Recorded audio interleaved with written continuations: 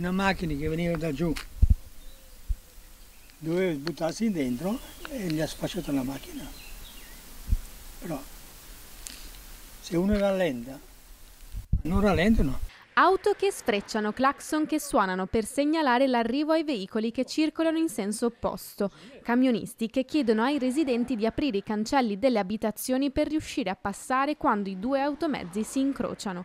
Situazione non più sostenibile per i residenti di via Codette, strada secondaria che dall'Ancenigo di Villorba porta verso Pezzan di Carbonera.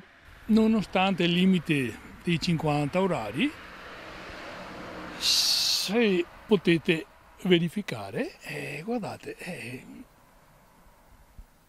è una cosa enorme. Una strada pericolosa, stretta e piena di curve, ma che non scoraggia gli automobilisti a premere sull'acceleratore nonostante il limite di 50 all'ora.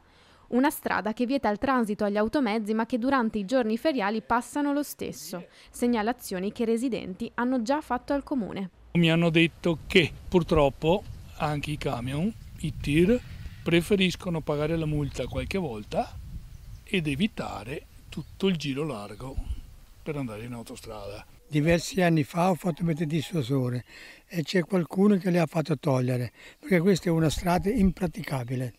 Nelle ore di punta dei giorni feriali dalle 7 di mattina alle 9 e la sera dalle 16 alle 18 la strada si riempie di traffico, minando la sicurezza dei residenti che abitano nelle case che si affacciano su via Codette. L'altro giorno stavo qui tagliando la siepe, una macchina mi ha preso il sedere e c'era il segnale in fondo, il giallo, là, le, le, i triangoli.